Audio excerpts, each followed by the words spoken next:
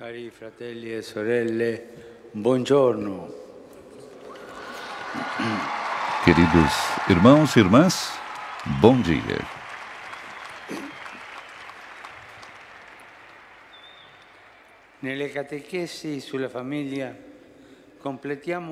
Nas catequeses sobre a família, completamos hoje a reflexão sobre as crianças, que são o fruto mais bonito da bênção que o Criador deu ao homem e à mulher.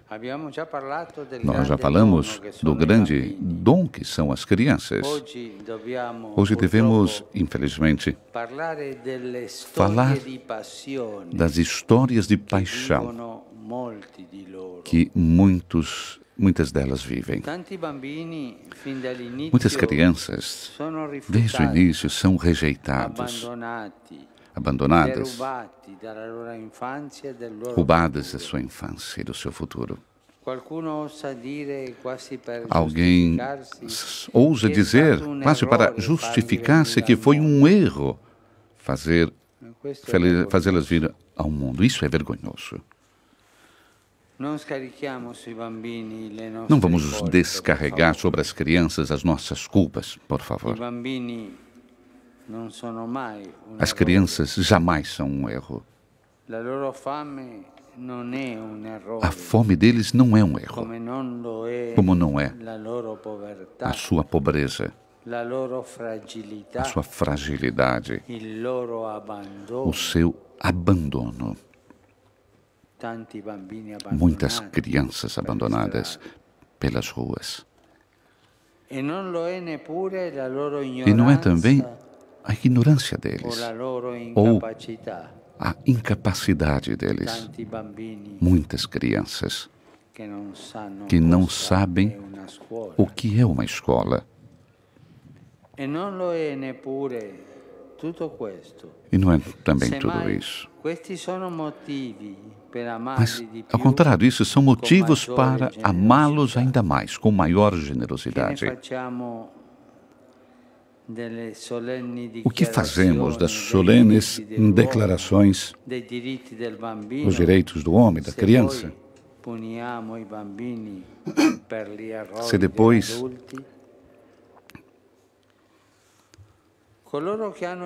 punimos as crianças pelos erros dos adultos. Aqueles que têm a tarefa de governar, de educar, mas diria todos os adultos, somos responsáveis pelas crianças e fazer tudo o que é possível para mudar essa situação. Me-. Me refiro à paixão. Das crianças.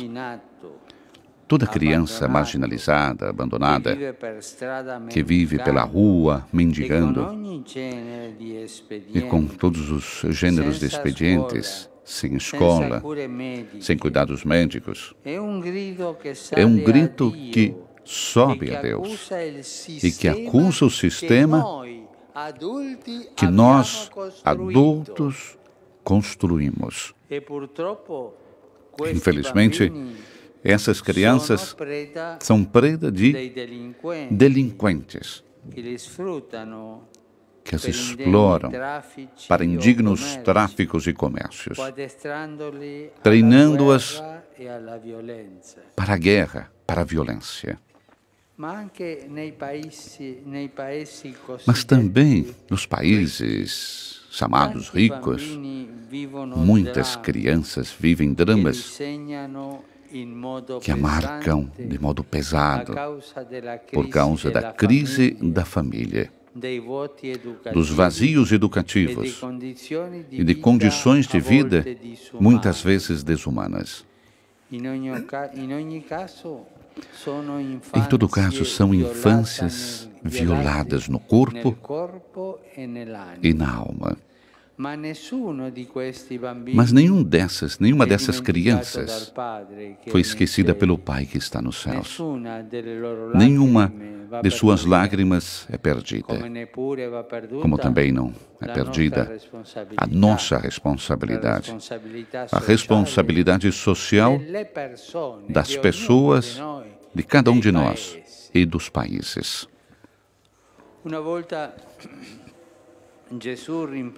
Uma vez Jesus chamou a atenção dos seus discípulos porque distanciavam as crianças que os genitores lhe traziam para que o abençoasse. É comovente a narração evangélica. Então, lhe trouxeram crianças para que impusesse sobre eles as mãos e, e rezasse. Mas os discípulos chamaram a atenção.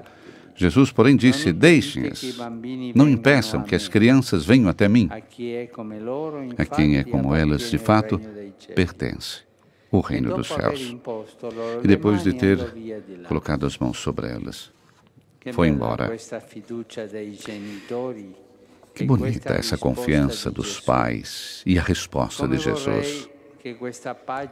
Como gostaria que essa página se tornasse a história normal de todas as crianças. É verdade que, graças a Deus, as crianças com grandes dificuldades encontram frequentemente pais extraordinários, prontos a todo tipo de sacrifício e a todo tipo de generosidade. Mas esses pais não deveriam ser deixados sozinhos. Devemos acompanhá-los na sua fadiga, mas também oferecer a eles momentos de alegria compartilhada e de alegria, para que não vivam somente pela rotina terapêutica. Quando se trata de crianças, em todo caso, não se deveria ouvir aquelas fórmulas da defesa legal. De escritório. Nós não somos uma entidade de beneficência ou no privado cada um é livre de fazer o que quer ou ainda. Sinto muito. não podemos fazer nada. Essas palavras não servem quando se trata de crianças. Frequentemente sobre as crianças recaem os efeitos de vidas difíceis, de trabalho precário, mal pagado, de horários insustentáveis, de transportes ineficientes. Mas as crianças pagam também o preço de uniões não maduras e de separações irresponsáveis. São as primeiras vítimas.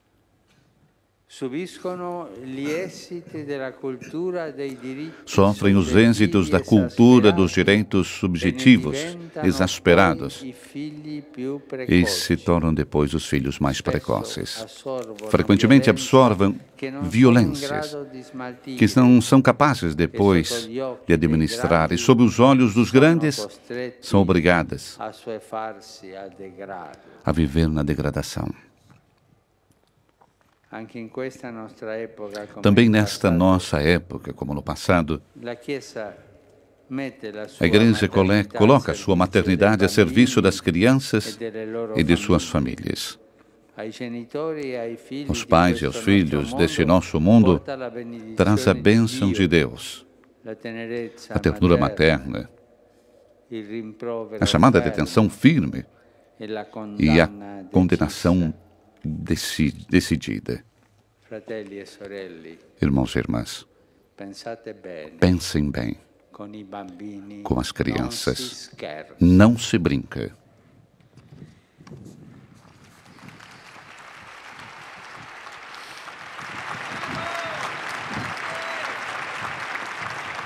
Pensate Pensem o que seria uma sociedade que decidisse uma vez por todas de estabelecer este princípio.